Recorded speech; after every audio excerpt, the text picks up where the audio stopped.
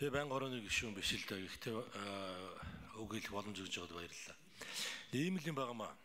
Засгийн газар энэ жил цоо шин цаглбараар буюу 9 сарын 1-нд төсөө өргөн барьсан. За тэрнээс хойш ингээд 70 гаруй хонлоо. За 10 сарын 1-ээс ажлын хэсэг байгуулагдаад тгийнхээ дагуу ингээд явсан, явсан.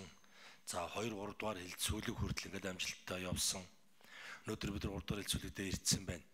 За тэр үед одоо 2 дугаар хил сүүлгээс өмнө яригдах ёстой асуудлуудыг тавиад байгаад л бид нар гайхаад байгаа. За одоо энэ ч дүрж одоо цаашаага яах вэ гэдэг асуудал гарч ирж байгаа юм. За тэгэхээр тэр хугацааг одоо нэгдүгээр үлрэл эдэр гэх юм бол энэ Монгол улс төсөвгүй явна л гэсэн үг. Нэгдүгээр үлрэл дуустал. Ямар ч баримжаа байхгүй, ямар ч луужин байхгүй ерөөсөө энэ эдийн засгт оролцогч чи хаашаа явгаж мэдэхгүй юм л байдал үүсэх юм байна. Тэгэхээр зовлонгийн түргэн дээр нэг өдрийн наан ч гэсэн энэ эдийн засаг нь өөрөө хаашаа явах уу гэдэг нь тодорхой болж ивэл аль алинд нь сайн, аль алинд нь хэрэгтэй. Бид энэгээр ингэж хамаагүй одоо ус ус төр хийж хугацаа алдаж энэ улс орноо бүр их эвгүй байдалд одоо мохордолд оруулж ингэж болохгүй юм байгаамаа.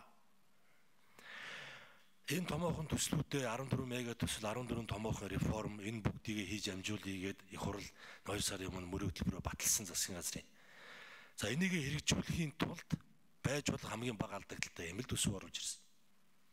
Засгийн газар одоо улсын хурл одоо төсвөө хэрхэн баталж бидэнд өргүүлэх нь энийг хүлээгээл байж байгаа их хурл дөргөн барьсан сууч засгийн газрын оролцоо бол ингээд хаагддаг. Улсын хурл бүрэн эрх нь одоо гаццгүй одоо яг энд л оршиж байгаа.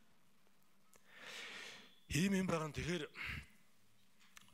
улсын хурлын гишүүд маань улсын хурл маань одоо энэ асуудлыг дөрвөн шуурхай шийдээд нэг тийш нь болгоод энэ эдийн засгийг нэг гацаагүй цааш нь гол төрөлд нь явуулна гэдэгт одоо итгэж байна. За зардал бууруулна алдагдал бууруулах ёстой гэдэгтээ бол засгийн газар бүр 100% нийлж байгаа. 100% нийлж байна. А ийм чиглэл өгж байгаа бол бас сайн хэрэг. За гэхдээ бас бид томоохон мөрөөлбөр томоохон зориг тавьчихсан байгаа. Бид олон зүйлийг энд харах ёстой. Мэдээж мөнгөний бодлого, мөнгөний орчнооч бас бид харах ёстой. Гадаад геополитик бүх юмал тохируулж одоо бүх агрегатуудаа тохируулж явах ёстой. Ганцхан үзүүлэлтийг хараад бусдынгийн одоо намжаана гэвэл бид хөгжлөө хойшин татж магадгүй нөгөө зориод байгаа нэг хүнд ногдох үндэсний орлого маань 100000 доллар хүрнэ гэдэг маань нэг 2 жилээр хойшлохыг өгөөсөхгүй. Магадгүй 4 5 жилээр хойшлохыг ч өгөөсөхгүй.